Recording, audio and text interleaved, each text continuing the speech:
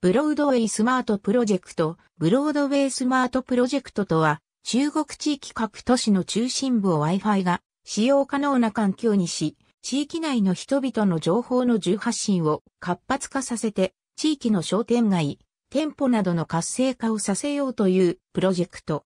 2011年4月に岡山地域を IT の活用により発展させたい、町おこしをしたいという思いから、岡山ブロードウェイスマートプロジェクトという企画チームが立ち上がった。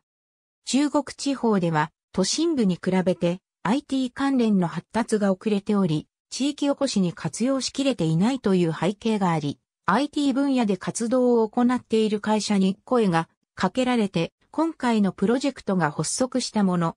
具体的には、岡山の中心部を Wi-Fi の使用可能な環境にすべく Wi-Fi 機器の設置を行う。環境が整えば、地域内の人々の情報の発受信が活発になるよう、現在では IT 活用に欠かせなくなってきているスマートフォン、スマートタブレット等端末の普及やアプリケーション等のコンテンツの紹介も実施。地域の商店街、店舗などの活性化、それによる住民へのアメニティを提供していく。また、各デバイスやアプリケーションを使いこなすための勉強会や情報発信なども随時行っている。IT に関する情報を発信基地として、岡山市北区にあるカフェでコシェットキャラボーモバイルも協力し、インターネットやスマートフォン、スマートパッドに関する疑問点などを解決し、活用方法を教える場所としている。スマートフォンやアプリケーション、SNS に関するセミナーや勉強会なども多数開催。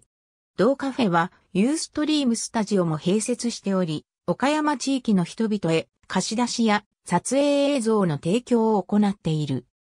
地元の情報を発信してもらい、県内外の多くの人に見てもらい、岡山の活性化につながればと現在スタジオは無料で貸し出しされている。ありがとうございます。